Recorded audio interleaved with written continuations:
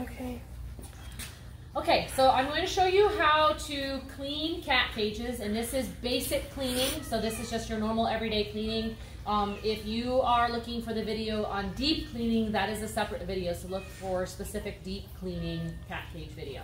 So the first thing I'm going to do is I'm going to need a litter scoop. Um, I may possibly need a scraper if there's poop stuck to the bottom of the litter box. This will help get you out. Um, and then this stuff is found in the exotics room. Um, and then I'm going to need one of these little brooms and dustpans or the shop vac, which is found over here. Um, and then obviously a trash can. So I'm going to come on over here to my first page. And I like to do these kind of like in a systematic order rather than every single cage by itself. I like to go through and do everything all at once. So go through, sweep all the litter boxes, go through, sweep out all the cages, go through, sweep out all the pans that kind of thing because it just seems to go a little faster and especially if you're um, especially if you're sharing the work with somebody.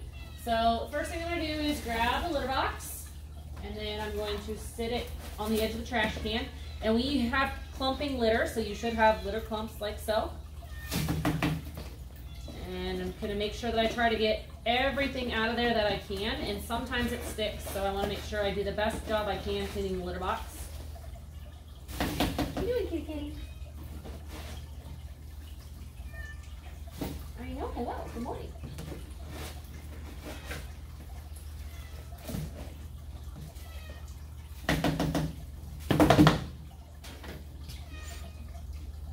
So then as you can see, I've got all of the clumps out of there, so her litter's clean. It looks like she could use a little bit more litter, so there is litter over here in the corner.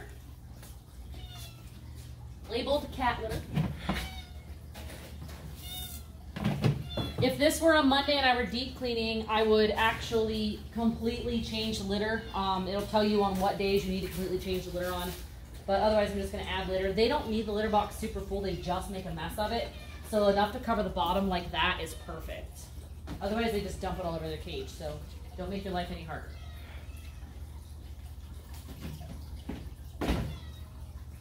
Now, um, as you can see, she's got a cage mat in here. These are great. They cover the entire side, the entire entirety of the cage. They're really easy to clean off.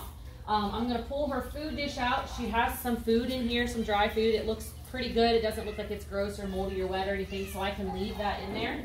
Um, I'm just gonna sit it underneath there for now. I'm going to just clean this off. Here, pumpkin. Can pull her out and put her in another cage or in a carrier while I'm doing this. Um, she's going to just move off this for me for a second. Um, so what I've done is I've contained all of the litter in this. And I'm just going to kind of shake that off into the trash can. Now, during the week, it's fine to leave this. Um, obviously, there's a little bit of hair on it. Um, looks like she's got maybe a little uh, bit of poop or something here, um, maybe some wet food. Um, this is pretty dirty. So on a deep cleaning day, I'm going to completely change this. Um, I'm going to show how to deep clean this cage later, so I'm not going to change this now. But um, a little bit of hair and stuff on here is fine, but we don't want to leave it like that for weeks on end.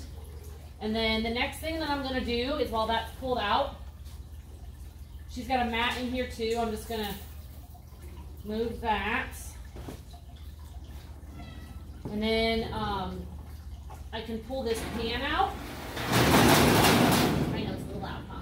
And I'm gonna sweep this pan off. And you can use the shop vac to do this, or you can just use these little brooms.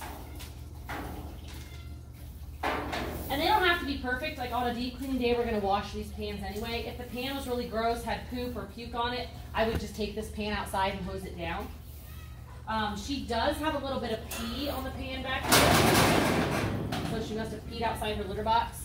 So um, I can just spot clean that with Rescue.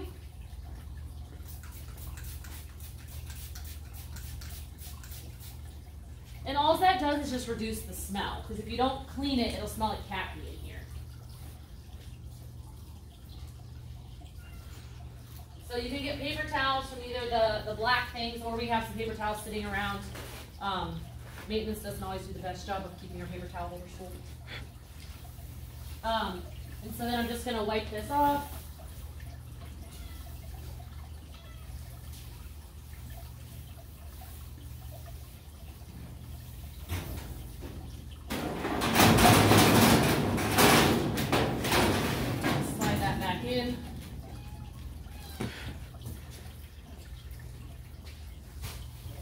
And then she's got some cat food and cat litter on in here. Um, so that is probably going to be easiest for me to uh, vacuum out. Or I can knock it down onto the pan. And sweep out. But if you don't clean these corners out from underneath these, um, the cat food and litter,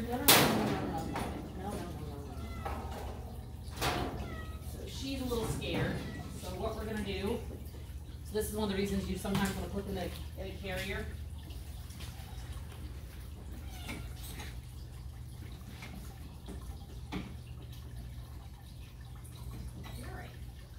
So I put her in a carrier. There's a couple stacked back here. I'm just gonna leave the carrier sitting there because she doesn't like that loud noise. Um, and then when I'm done, I can put her back in here. But if the cat's not in here, you can actually lift this up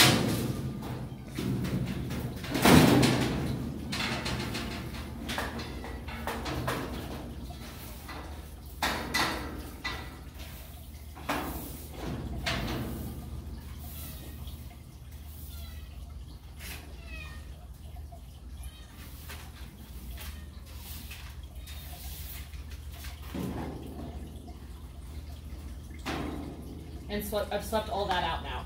So now this is pretty much ready for me to put um, the cat back in. So as you can see, it's not a very long process. Yes, sometimes it can take a little bit long if there's a lot of cats. On a deep cleaning day, I'm going to obviously wipe down all of the sides of the cage, clean this entire cage, not just do what I just did. This is just regular cleaning. Um, I'm going to go ahead and put her blanket back in because I'm going to deep clean this cage later, at which point I'll change her blanket and bedding. I do have to fold these to make them fit, which is fine.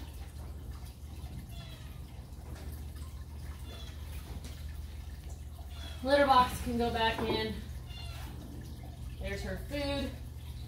Um, her water dish is a little gross, so I'm going to clean that really fast. Paper towels.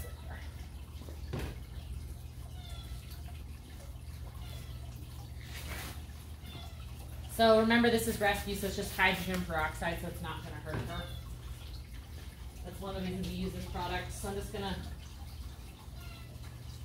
wipe that off because it's a little gross. Again, this cage will get deep cleaned later, so we will be washing all this down. And then her water is dirty, it's got litter in it.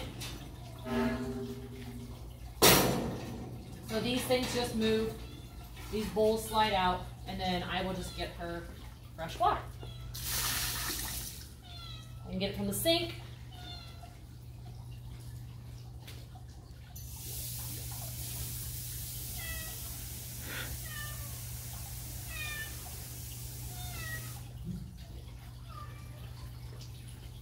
We don't need to fill them all the way up. The cats don't need quite that much water. So about halfway is good. And then that goes back in. And then I'm ready to put Libby back in her cage. If she had toys, I could put toys back in there with her. Um, if she had a hide box, I want to make sure that her hide box, um, so like this kitty has a hide box, I want to make sure that her hide box has a blanket underneath so that they can feel comfortable laying on that blanket.